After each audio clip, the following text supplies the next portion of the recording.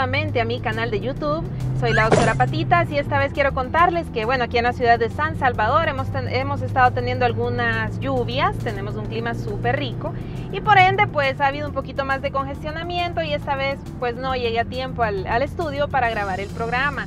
Por cierto, saludos para todos los que están ahí esperándome, en especial para mi Fionita, eh, que ya en el próximo video estará con nosotros. Pues esta vez no quise dejar de enviarles esta información importante acerca de los cuidados que debemos de tener con nuestras mascotas al momento de pues, pasar por una época lluviosa.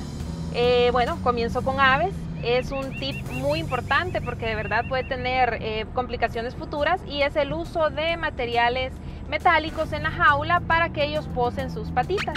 Eh, por favor cambiémoslos, ocupemos materiales de madera porque a largo plazo las aves podrían presentar problemas, eh, como les insisto, de artritis.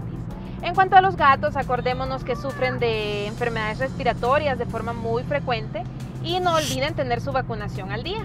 Y en el caso pues de los perritos también, eh, vuelvo a insistir con la vacunación para protección contra la bacteria Bordetella bronquiséptica, aplicando una vez al año su vacuna de bronchicinia. Esto evitará que tenga problemas respiratorios y sobre todo en esta época lluviosa.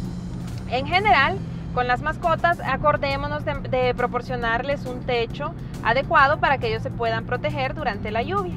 Eh, por favor, no lo olvidemos, es una manera de amarlos y de, y de cuidarlos mucho. Y bueno, esto ha sido todo por ahora. Espero seguir recibiendo sus mensajes. Estoy muy contenta por la comunicación que mantengo con ustedes. Gracias por su cariño y espero verlos pronto para el próximo video en el cual ahí estará Fiona con nosotros. Por cierto, no olviden suscribirse al canal en YouTube, Doctora Patitas. Acuérdense, hay un botoncito rojo a donde dice suscribirse, pues ahí es donde deben dar su like, o en el fanpage Doctora Patitas.